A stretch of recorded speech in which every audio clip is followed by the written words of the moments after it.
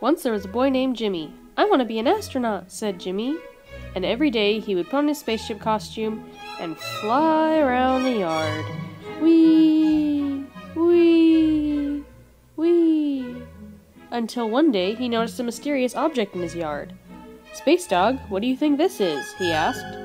But Space Dog didn't know either. Curious, he climbed inside. I wonder what all these levers do, he said. He started to fiddle with the different buttons. Eventually, he pulled one of the levers. Oh no, he said, I think this is actually a time machine. But it was too late. The time machine rattled to a halt. Where are we? said Jimmy. He started to look around, but the place didn't look familiar. Then suddenly overhead, Oh no, Space Dog, said Jimmy. I think we went back way too far. We're back here with the dinosaurs. Boom, boom, boom. Roar. Oh no, a T Rex! Ah! Let's get out of here before it eats us, said Jimmy. He and Space Dog ran back to the time machine and headed off for a different time. When the time machine finally stopped again, Jimmy looked around. Cool, he said. I'm finally in space. Maybe I should just stay here, he said to Space Dog. Woof woof, Space Dog said in agreement. Just then, the time machine started to go crazy. Oh no, said Jimmy. I said I wanted to stay here, but now I'm not so sure. How will I ever get home? Just then, in walked a robot.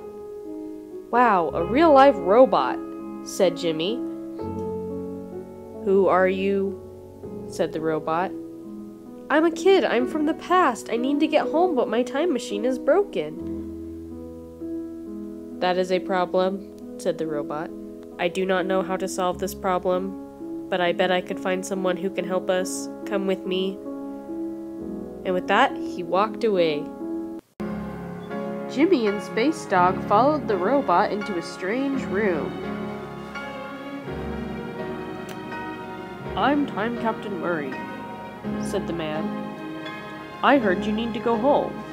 All you need to do is to stand on that platform over there and I can send you home. Jimmy hopped across the platforms. Alright, I'm ready to go home, he said, but I guess Space Dog wants to stay here, so I'll just go home myself. Alright, said Time Captain Murray. He pressed the button and he sent Jimmy home. I sure am glad to be home, said Jimmy, but I do miss Space Dog. Then suddenly. Woof woof! Space Dog, you came home! Jimmy found a note from Captain Murray. It said, Space Dog missed you, so we sent him home too. You two have fun. Yay, I'm so glad we're back together, and I'm so glad we're home. I don't want to time travel anytime soon, said Jimmy. The end.